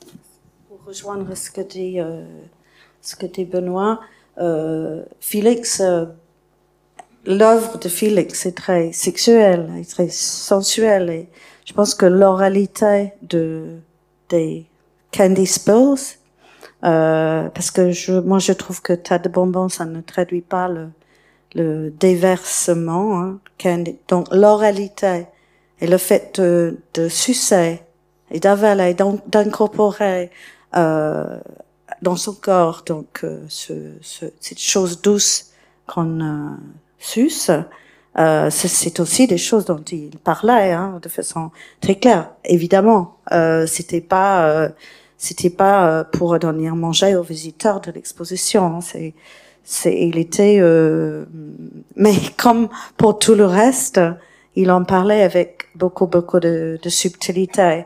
Pas dans la gueule, en fait. Hein. Il pensait que c'était plus efficace de livrer ses messages euh, de façon plus, plus allusive.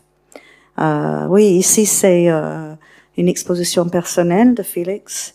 Il y avait euh, donc cette euh, performance de deux personnes qui, qui dansaient, qui venaient euh, avec un Sony Walkman double casque, hein, c'était la technologie de pointe du, du moment, euh, avec une musique de valse. Et euh, il disait euh, donc toutes, toutes sortes de couples, homme-homme, femme-femme, femme-homme, euh, tout, tout, est, tout, tout devait apparaître, mais il ne voulait pas que ça soit annoncé. Il voulait juste un papier sur le bureau avec tapé à la machine. Une performance aura lieu. C'est tout. Et moi-même, je ne savais pas quand, quand les, les personnes venaient. Pour cette, pour cette guirlande de lumière, Arena, elle s'appelle, on a visité les, enfin, on est, on est revenu à l'exposition euh, le soir du vernissage, la, veille du vernissage avec Félix. Et il m'a dit, euh, tu vois, euh, il y avait personne, bien sûr. Euh, tu vois, euh, c'est comme si, euh, euh, comme si une fête allait avoir lieu, ou peut-être que la fête a déjà eu lieu. Je dirais en anglais, it's like the, there was going to be a party, or perhaps the party's already happened or perhaps there won't be a party because there's nothing to celebrate. Et ça, ça m'a beaucoup marqué, évidemment. Et la tristesse empreinte de, dans, dans, dans cette œuvre, avec ou sans euh, performeur d'ailleurs, parce que la musique est toujours uniquement pour les, les performeurs. C'est le cas dans, dans la performance avec le go-go dancer aussi. Et évident, dans ce, ce stack-là, c'est le premier stack qu'il a fait avec un livret et c'était un livret de 12 pages avec euh, des photos de vautours qu'il a pris dans le ciel de, Miami. Um, bon, hein, on était en 93, mais 93, il a déjà eu un très très gros épisode. Euh, bon, Ross était mort. Et lui, il est descendu à 12 T-cells, je crois. Et, euh, et donc, euh, enfin, les, les vautours, hein, ils étaient là. Ils étaient là. Mais on danse quand même. Oui, les fleurs sur la photo de Gertrude Stein. Euh, donc je crois que l'exposition dont parlait Benoît tout à l'heure avec les fleurs posées sur les bureaux, c'était dans l'exposition Migrateur. Euh, en même temps à peu près que l'exposition qu'on a vue avant. Et là, c'est l'exposition Passage à l'acte que tu avais organisée avec Caroline Bourgeois. Absolument. Euh, qui a lieu quelques mois après le, la disparition de, de Félix, parce qu'il est mort en janvier, si je suis pas faux, et là c'est en mars 96. Euh, oui, d'ailleurs, euh, Caroline et moi avons organisé cette exposition Passage à l'acte, et on devait montrer euh, une autre série de photos de Félix. Euh, C'était des, des, oiseaux en vol, en fait. Mais euh, le fait que Félix euh, décède n'était, enfin, a changé le, le euh, c'est pas grave, l'œuvre était accrochée seule. Ça n'a pas changé le plan de l'exposition, ça a juste changé un peu l'accrochage. Ça, ça, voulait dire la même chose. Et puisqu'il s'agit du tombeau de Gertrude Stein, c'était particulièrement à propos, compte tenu du fait que Félix est décédé en janvier, le 9, je crois. Ouais. Il est décédé à Miami. Merci, d'avoir relevé ce fait.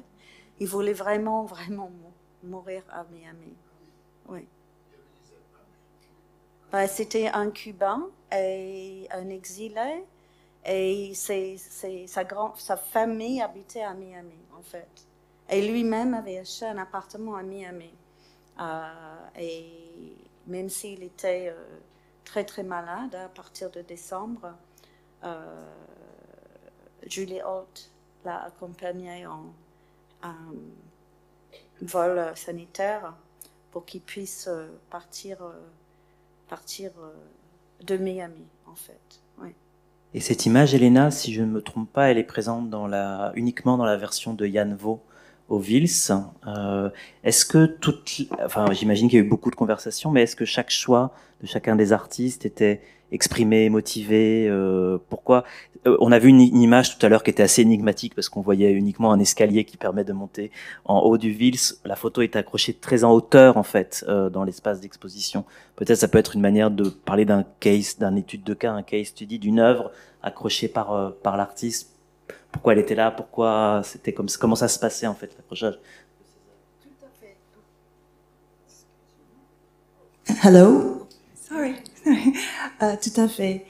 En fait, comme je disais, euh, chacun des artistes avait une autre liste de, qui était pour eux des œuvres clés de l'œuvre de Félix.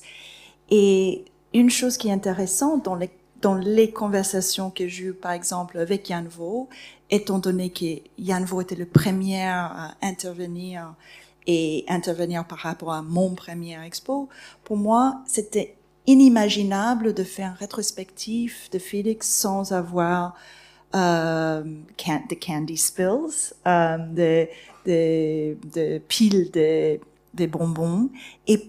Et aussi je voulais absolument avoir la première euh, euh, pile de papier. Stack de papier. Mais en français comment dire stack? Stack. Stack. De papier. Étant donné que les premières stacks de papier étaient faites par Félix étaient sur un pédestal. Et j'avais jamais vu ça autre part et j'étais fascinée par l'idée que Félix vraiment pensait à les stacks comme des sculptures et que à partir de cette première version, il a tout de suite compris il n'avait pas besoin du pédestal, il remettait ça sur le sol et que le sol et le, les stacks devaient être euh, à la fois son pédestal et l'œuvre lui-même. Donc j'avais des très claires idées de pourquoi des œuvres dans mon choix et Yann m'a dit ces premières stacks, no way. Euh, ça va pas être dans le dans, l'exposition dans son exposition les peintures que je montrais parce qu'il se trouve que Félix a fait des peintures et moi autant qu'historienne je pensais il fallait montrer les progressions des idées de Félix au moins dans ma première version et pour Yann il avait dit très clairement euh, pour lui c'était pas c'était pas Félix González Torres. Il n'était pas encore le Félix tel que on a compris dans ses œuvres très tôt. Euh, je ne sais pas qui a raison, et le but de cette exposition, de se dire que ni l'un ni l'autre de nous a raison. il, n'est pas question d'avoir raison. C'est de vouloir, montrer deux versions complètement différentes de qu'est-ce qui représentait, euh, qu'est-ce qui était l'œuvre de Félix. Et alors, moi, j'avais euh, plusieurs exemples de, de, de candy spills. Euh, il a nouveau résisté ça pour lui, ce qui était le plus important dans l'œuvre de Félix, c'était les questions de mortalité, de mort, de, de un côté un peu dark qu'il frôlait, qu'il touchait, dont il n'avait pas peur de toucher. Et donc pour lui, cette œuvre euh, était capitale. Et les seuls euh, piles de... Euh, Est-ce qu'on peut mettre la slide 20 si jamais vous y arrivez en régie? Vous avez ça en tête 20 Plus ou moins. Ah. Euh, les seuls euh, tas de bonbons qu'il voulait montrer, c'était Untitled. Ah oui, et là on voit, et Yann Vo a décidé de montrer ça très haut, à côté d'un escalier qui, mène à nulle part. C'est-à-dire, euh, c'est un dead end. Et pour lui, il, il vraiment, il pensait à l'architecture, par rapport à ses choix. Et ces deux œuvres et un autre petit stack qu'on voit à côté du fenêtre étaient les seules œuvres dans toutes les salles. Donc c'était hyper minimal. Il faut dire aussi, Yann a, pris une autre décision importante. On voit un, un stack de papier blanc dans cet étage de son exposition. Dans l'autre étage, il montrait la même, les mêmes stacks, les mêmes œuvres, mais dans une autre hauteur, en soulignant le fait que les questions de hauteur étaient la responsabilité et le choix de la personne qui le montrait, que, que Félix donnait seulement un, un, un, un ideal, un, auteur idéal, oui. Auteur idéal pour lui, mais qu'il demandait à chaque personne qui montrait son, son œuvre de décider sur lui-même. Et, et, si on peut aller à la, slide 68, s'il vous plaît. Juste pour, revenir à la hauteur des stacks, on ne connaît pas, n'est-ce pas, euh, Elena, de stack de González Torres qui arrive jusque-là. On est toujours, on est toujours dans un, dans un rapport d'instabilité. C'est toujours euh, là, haut, là, au plus bas. Hein? Je voulais rebondir en montrant cette image-là, peut-être aussi avant de, faire une dernière série de questions et de, et de savoir s'il y a des questions dans la salle avec euh, Tino Segal qui a, a, pris cette liberté de montrer pas tous les stacks, mais beaucoup des stacks dans une même ligne en fait, quelque chose qui n'avait jamais été fait euh, auparavant. Et ça me permet peut-être aussi de te poser cette question de quelles étaient les conclusions que tu as tirées après toute cette expérience en fait euh, euh, Alors pas forcément de nous dire est-ce que ça a changé ta manière de faire des expositions, même si je pense que ça a forcément changé, mais voilà, quelles sont les, leçons euh, pour toi de, tout ce projet en fait qui a fait que tu as vécu pendant deux ans avec Félix González Torres d'une certaine manière? Je crois qu'il y a certaines curateurs, curatrices aux des gens qui veulent être, qui, qui pensent vouloir être un curateur, qui s'inscrit dans un curating course, dans, une, dans un entraînement pour comment être curatrice ou curateur. Moi, j'en ai pas fait, mais en faisant cette exposition, c'était un peu mon éducation. Ça a changé, ça m'a ça m'a formé d'une façon euh, viscérale, intrinsique. Euh, le fait de dévouer autant de temps à réfléchir sur comment prendre l'œuvre d'un artiste et faire une exposition pour laquelle le fonctionnement de cette œuvre devient le modèle pour l'expo lui-même, comment euh, comment écouter à trois autres artistes tant qu'eux ils ils font leur propre version que sans je, je prenais pas ça comme critique sur la mienne, mais euh, à chaque fois, je voyais leur version en disant ah waouh, j'avais pas pensé à ça ou je j'ai pas pris autant que de liberté que ça. J'avais jamais vu dans ma vie un, un une série de stacks de papier comme ça. J'avais jamais dans ma vie osé, imaginé d'oser de faire une tas de bonbons dans la forme d'une d'une de l'Afrique ou d'une forme informe telle que Tino Segal a fait.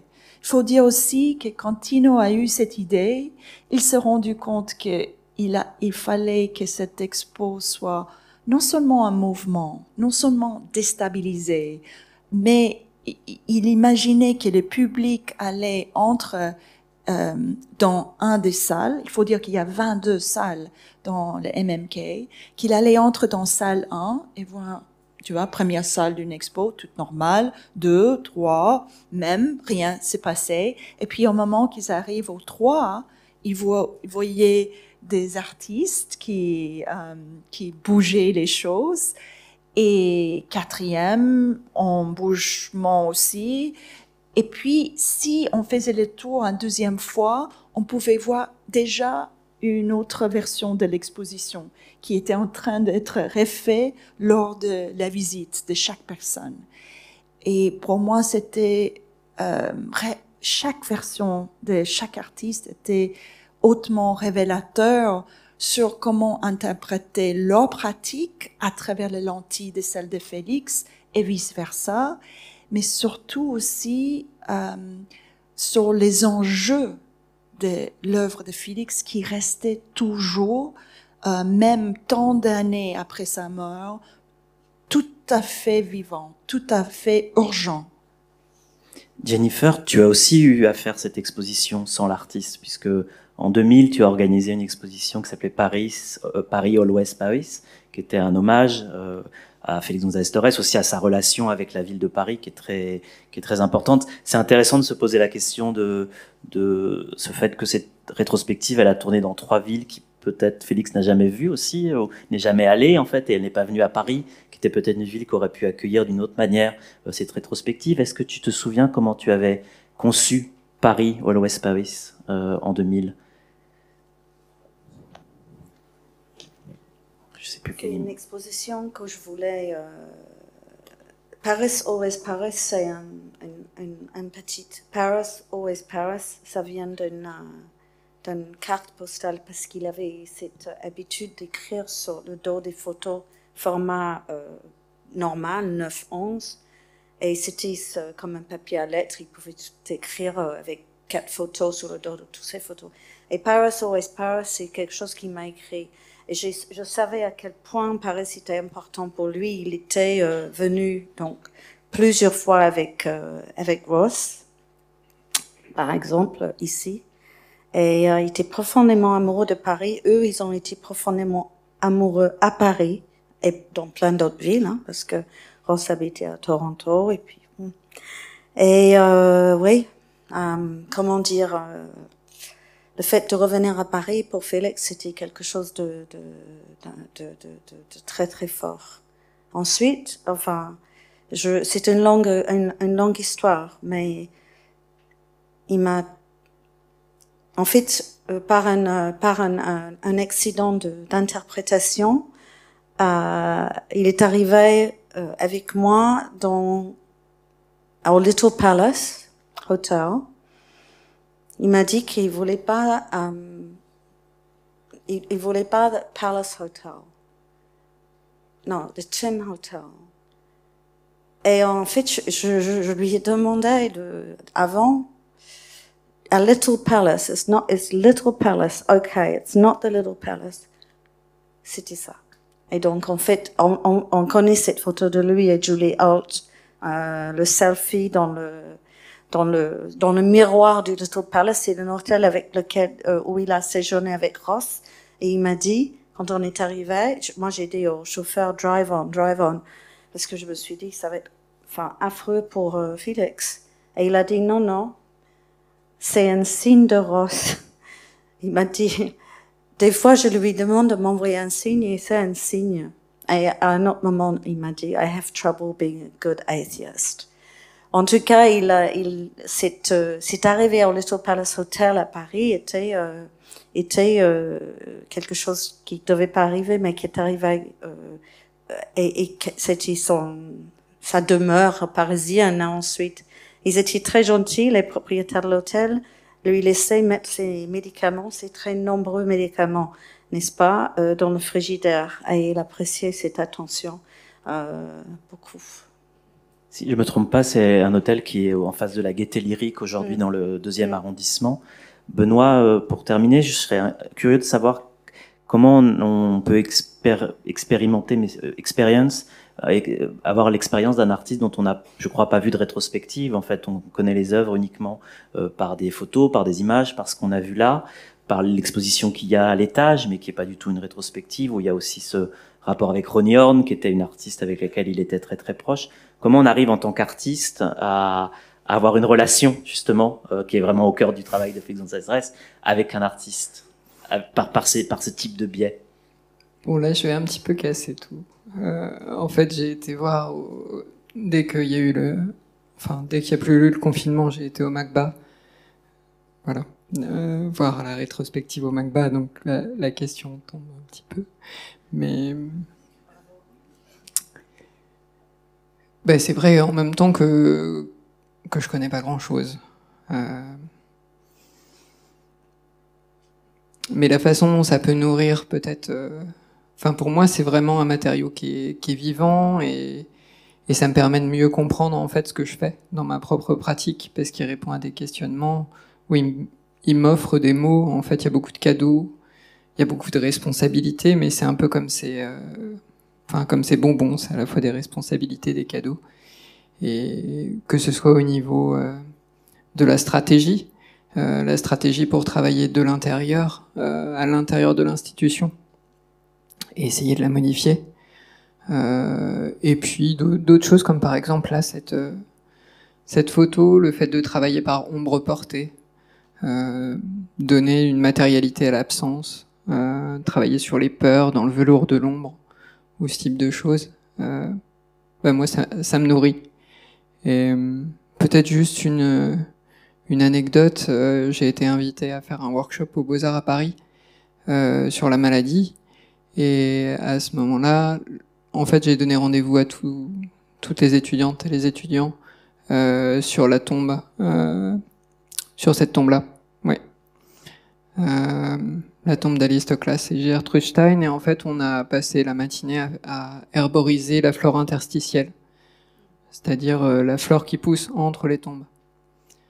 Qui a, voilà, pour moi, ça, me nourrit dans ma pratique et en dehors, dans, dans des pratiques qui sont peut-être annexes, où tout d'un coup mon travail est juste un support pour euh, essayer de réconcilier les gens un peu avec la mort, ou l'incarnation vivante de la mort, la maladie. Euh, et voilà. Je me posais juste une question. quand Danvo a eu envie de d'accrocher euh, cette photo en haut. Est-ce qu'il y avait aussi quelque chose par rapport à la tombe euh, et où justement euh, le nom d'Alistoclas est, est, derrière? Enfin, Je trouvais que c'était tout à fait.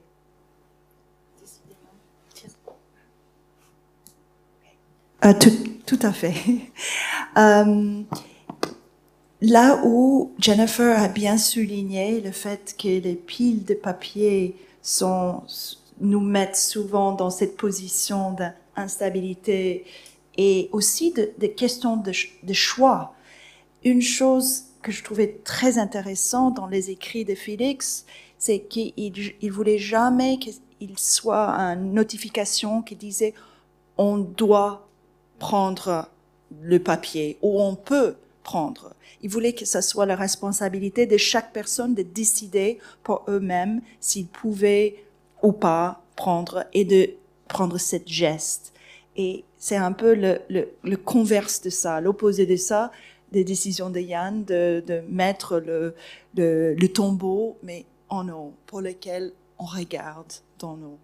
Et je, je trouvais très drôle que les artistes m'ont mis devant toutes leurs réflexions, leur interprétation de chaque œuvre et les décisions curatoriales qui, qui prenaient en compte le corps du visiteur, comment on, bouge dans l'espace, comment, on, on, regarde un cartel, où on place les œuvres étrangement et non seulement en haut, mais à côté d'un escalier qui mène à nulle part.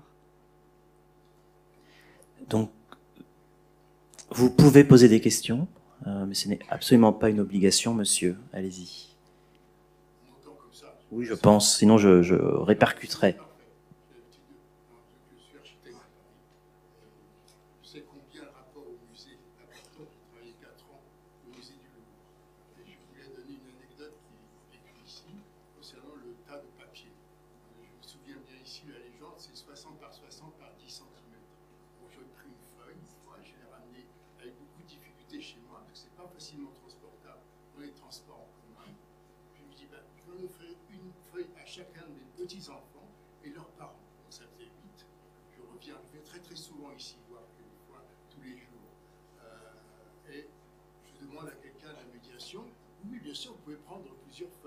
C'était une heure avant la fermeture.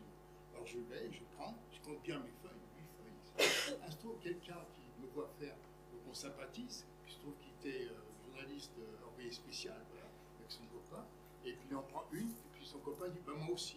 Puis on se fait prendre en photo comme ça, avec mon paquet. Enfin, on demande à quelqu'un, dit, là, on prend en photo, je dis, oh, c'est voilà, assez content, on échange de coordonnées. Et puis, autour du tas. Et puis arrive quelqu'un, une dame, monsieur, qu'est-ce que vous avez fait? Vous avez pris du papier, quelqu'un de la surveillance de la fondation. Je dis, ben oui, j'ai pris. vous avez pris beaucoup de papier. Je dis, ben attendez, j'ai demandé avant. Euh, non, mais c'est pas possible. Je dis, ben attendez, moi, je vais en donner à mes petits-enfants.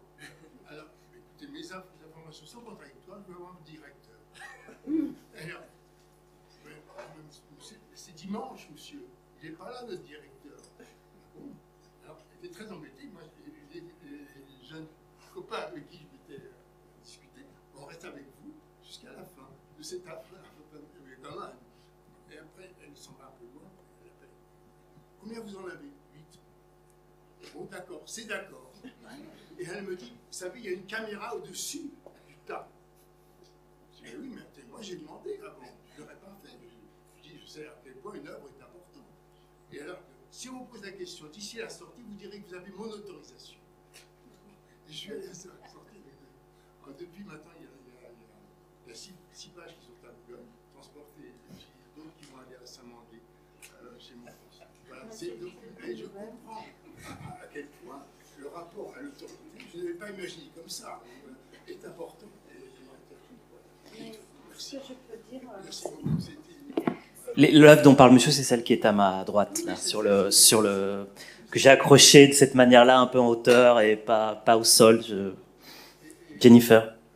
Félix, en, tout cas de son vivant, euh, non seulement, enfin, souhaitait, hein, souhaitait que les gens prélèvent, euh, que ce soit les bonbons les feuilles de papier. Euh, c'est vrai qu'il n'y a jamais de, il n'y a jamais eu d'obligation à le faire. Ce serait tout à fait contraire. Mais il était absolument ravi de ça. D'ailleurs, c'était sa manière de faire un art pour euh, beaucoup de gens. Enfin, que chacun, c'était une, autre euh, idée du multiple. Et je me rappelle très bien de lui quand il a fait sa rétrospective Mid-Career Survey à, au Guggenheim.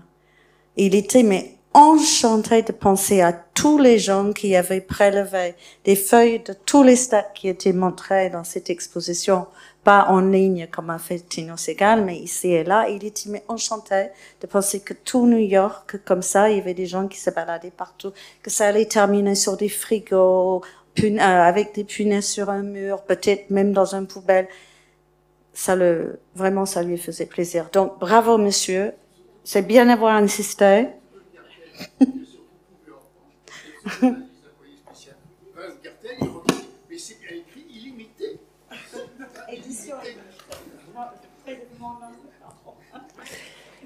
Merci beaucoup, Elena, Jennifer et Benoît, pour euh, cette expologie euh, ce soir sur Félix González Torres. Merci mille fois.